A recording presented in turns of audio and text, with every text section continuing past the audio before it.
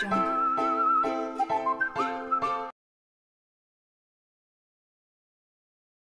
மீன ராசி நேயர்களே இதுவரையிலும் உங்கள் ராசிக்கு ஒன்பதாம் இடத்திலிருந்து கு குரு பகவான் இப்பொழுது பத்தாம் இடத்துக்கு வராரு.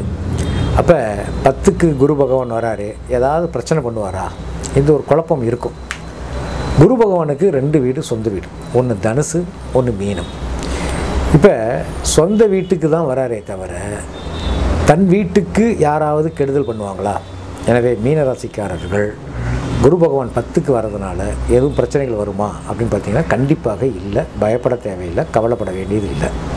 சரி அப்போ எதுக்கு தான் பயப்படணும்? அப்படின்னாக்கா ஒன்றும் பெரிய பிரச்சனைகள் எதுவும் வராது. ஆரோக்கியத்தில் சின்ன சின்ன அச்சுறுத்தல்கள் வரும். அது நான் இல்லைன்னு மறுக்க முடியாது. சில மருத்துவ செலவுகள் வரும்.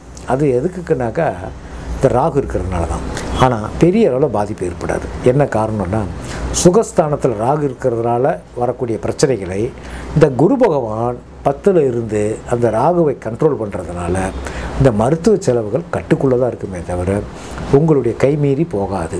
எனவே பயப்பட தேவையில்லை. உத்தியோகம் பார்த்துக்கிட்டு இருக்கிறவங்களுக்கு கண்டிப்பாக இடமாற்றம் ஏற்படும். அது நல்ல இடமாற்றமாக இருக்குமே தவிர உங்களுக்கு பனிஷ்மெண்ட் கொடுக்கக்கூடிய வகையில் இருக்காது. அதனால் பயப்பட தேவையில்லை. அதே மாதிரி பார்த்தீங்கன்னாக்கா ஏற்கனவே ஒரு சில பிரச்சனைகளில் இருந்து அது வெளிவராமல் தவிச்சுக்கிட்டு இருந்தவங்களுக்கு இப்பொழுது அந்த பிரச்சனைகள்லாம் முடிவுக்கு வரும். என்ன காரணம் அப்படின்னாக்கா குரு பகவான் வந்து தனியாக வந்து அங்கே இல்லை. அங்கே சனி பகவானோடையும் கேது பகவானோடையும் சேர்ந்து இருக்கிறார். சனி பகவான்கிறது இந்த வழக்கு சம்பந்தமான விஷயங்கள் எல்லாம் தீர்க்கக்கூடியவர். அங்கே குரு பகவான் வரும் பொழுது உங்களுக்கு சாதகமான தீர்ப்புகளை பெற்றுத் தருவார். எனவே அதை பற்றின உத்தியோகத்தில் இருக்கக்கூடிய சின்ன சின்ன விஷயங்களில் உங்களுக்கு என்கொயரி வச்சுருந்தாங்கனாக்கா அதெல்லாம் இப்போ உங்களுக்கு சாதகமாக தான் இருக்குமே தவிர கெடுதலை தராது. அதனால் பயப்பட தேவையில்லை. தொழிலில் இருப்பவங்க தயவு செய்து சொந்த தொழிலில் செய்து கொண்டிருப்பவர்கள் தங்கள் என்ன செய்து கொண்டிருக்கிறோமோ அதை மட்டும் செய்து வாருங்கள். புதுசாக யாராவது ஒரு நண்பருடைய அறிமுகம் அறிமுகம் கிடைக்கும்.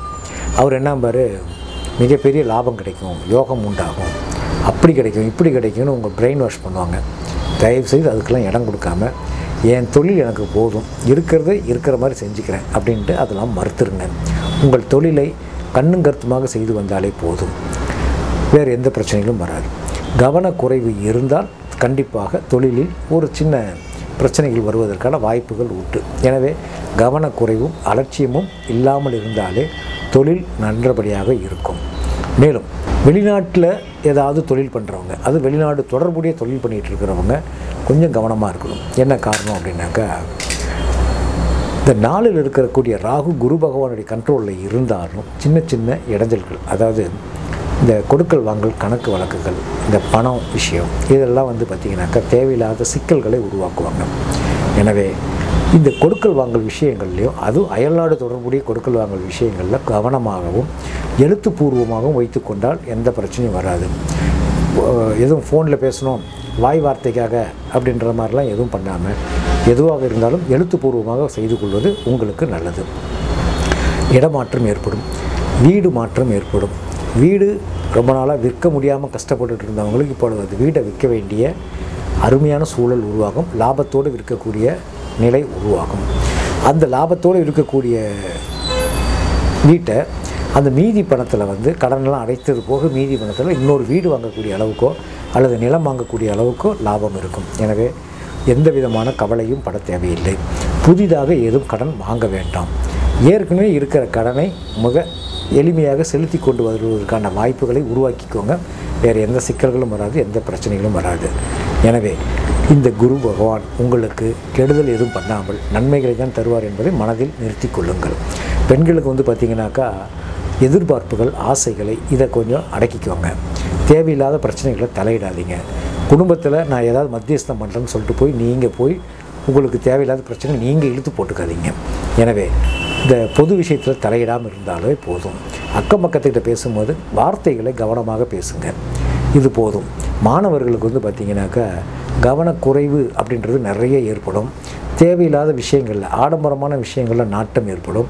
அதையெல்லாம் தவிர்த்தால் மிக அருமையான பிரமாதமான வாழ்க்கை எதிர்கால வாழ்க்கை நன்றாக இருக்கும். எனவே இந்த ஆண்டு முழுவதும் இந்த குரு பகவானுடைய பலத்தை அதிகப்படுத்திக் கொள்வதற்கு ஸ்ரீ முருகப்பெருமான் அதாவது திருச்செந்தூர் ஸ்ரீ முருகப்பெருமானோ அல்லது திருத்தணி முருகப்பெருமானையோ வணங்கி வாருங்கள். உங்களுக்கு கூடுதல் நன்மைகள் மட்டுமல்ல அதீதமான நல்ல விஷயங்கள்லாம் உங்களுக்கு நடைபெறும் என்பதை தெரிவித்துக் கொள்கிறேன். நன்றி.